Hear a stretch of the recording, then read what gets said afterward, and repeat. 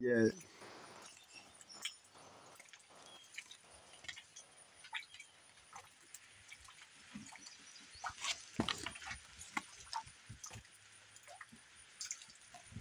Well, I think I'm right. What I find interesting is uh, I'd almost bet they're from Europe. They're not from Canada or United States of America. It'd be more like Canada.